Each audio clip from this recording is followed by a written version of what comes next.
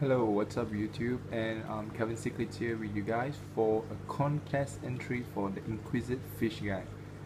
Alright, okay, so mainly this contest is about what media uh, we use for our tank.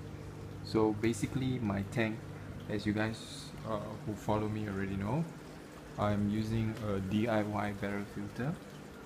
And let's check out the media that I use.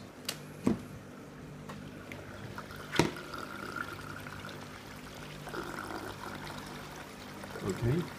Alright for the media that I use I'm using K1 uh, media which is the moving bed kind of media. Uh, I've been using it for the past year and a half almost two years now. Um, they'll never fail me it works well. It gives a lot of uh, space to play in terms of bio and so on.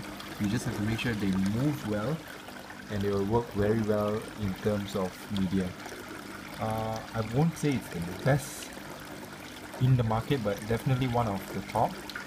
And below the barrel filter uh, I'm actually using some uh, bio rings, ceramic bio rings just I think around 5 kilo of them. And for the K1 media I use um, probably around one and a half to two kilos of uh, K1 so uh, this is just for uh, my DIY barrel filter and some sponges lah. I don't think that's counted as media. And inside the tank um, there is actually another uh, K1 filter which is running.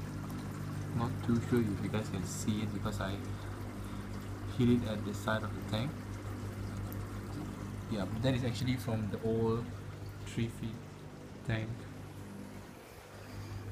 Since I had the 3 feet tank for a year and a half so it's been cycling in the 3 feet tank so just moved in and I upgraded the tank. So everything's working well.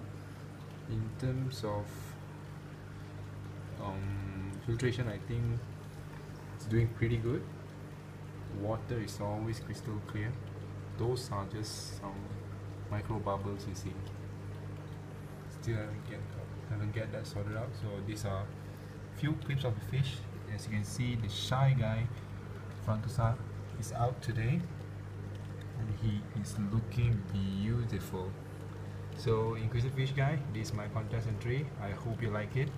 And thank you for the support all this while. And I hope to see more of you uh, and your tank uh, in time to come. Alright? Is Calvin Cichlid signing out.